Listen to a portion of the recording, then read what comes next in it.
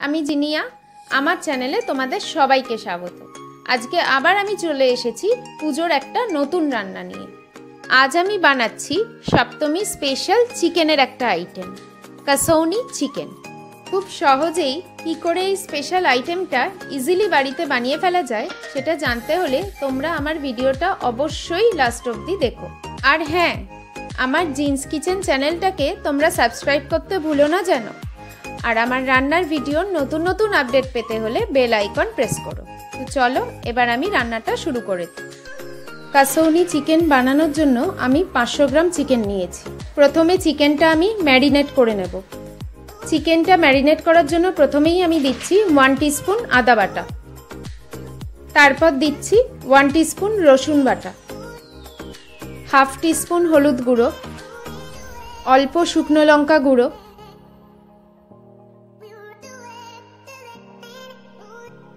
Five table spoon টক দই।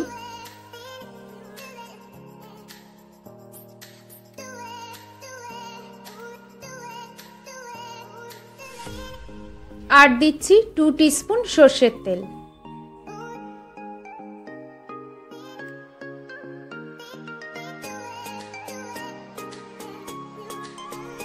এবার সব মশলা এবং টক দইয়ের সাথে চিকেনটা ভালো করে ম্যারিনেট করে নেব।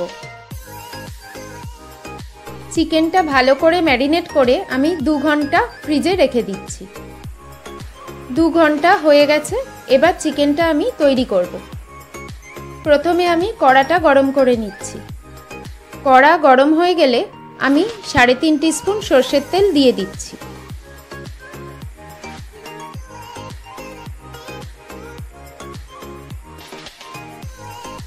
তেলটা ভালো করে গরম করে নিচ্ছি। এবার এতে হাফ টিস্পুন কালো জিরে দিয়ে দিচ্ছি। আর একটা শুকনো লঙ্কা ফাটিয়ে দিচ্ছি। এবার ফোড়নটা একটু নাড়াচাড়া করে নিচ্ছি। এবার এতে একটা বড় সাইজের পেঁয়াজ কুচিয়ে রেখেছিলাম, সেটা দিয়ে দিচ্ছি।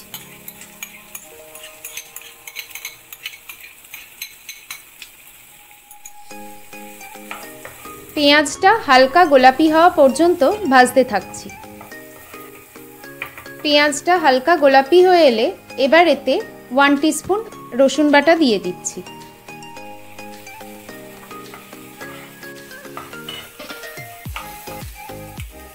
এবার এতে একটা মিডিয়াম সাইজের টমেটো কুচিয়ে রেখেছিলাম, সেটা দিয়ে দিচ্ছি। এবার কিছুক্ষণের জন্য ঢাকা দিয়ে দিচ্ছি।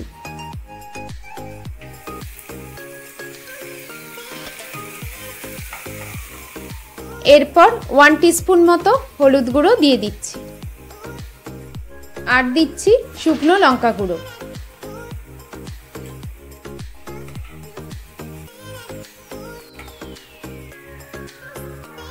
আর একটু জল দিয়ে ভালো করে মশলাটা কষাতে থাকছি। মশলাটা ভালো করে কষার জন্য কিছুক্ষণের জন্য ঢাকা দিয়ে দিচ্ছি।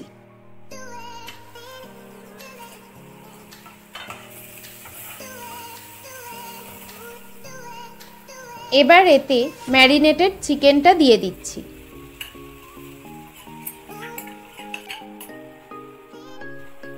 দিয়ে ভালো করে মেশাতে থাকছি।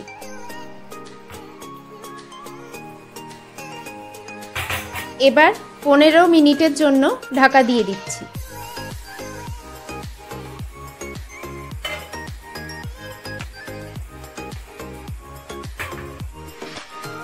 এরপর এতে অল্প নুন ও চিনি দিয়ে দিচ্ছি।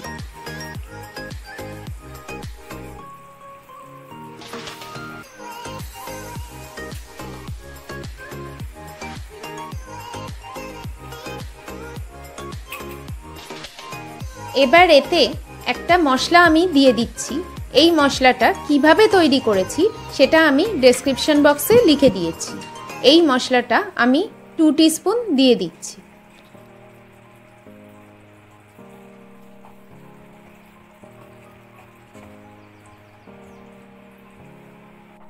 আর অল্প একটু জল অ্যাড করছি।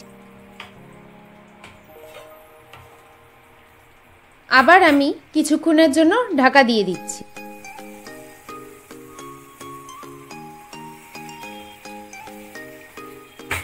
এবার এতে আমি ওয়ান কোয়াটার স্পুন হিং দিচ্ছি।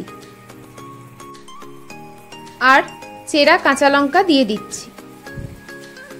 দিয়ে অল্প কিছুক্ষণের জন্য ঢাকা দিয়ে দিচ্ছি। যাতে হিঙের গন্ধটা পুরো রান্নাটাতে ছড়িয়ে যায়।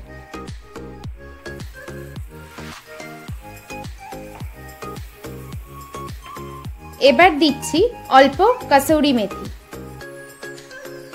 দিয়ে দু মিনিটের জন্য ঢাকা দিয়ে দিচ্ছি।